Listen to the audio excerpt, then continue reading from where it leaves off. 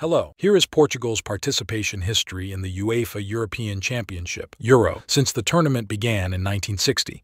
1960 did not participate. 1964 did not participate. 1968 did not participate. 1972 did not participate. 1976 did not participate. 1980 did not participate. 1984 participated, reached the semi-finals and were eliminated by France. 1988 did not participate. 1992 did not participate.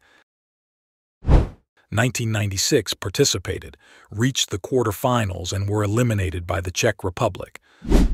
2000 participated, reached the semi-finals and were eliminated by France's golden generation led by Zinedine Zidane and his teammates.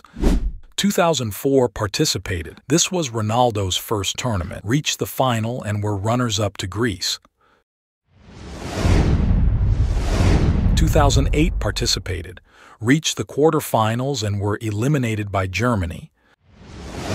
2012 participated, reached the semifinals, and were eliminated by Spain, who were the World Cup holders at that time, in a penalty shootout. 2016 participated, won the tournament against France, participated, reached the round of 16 and were eliminated by Belgium. 2024 participated, reached the quarterfinals and were eliminated by France. Don't forget to subscribe to the channel and like the video.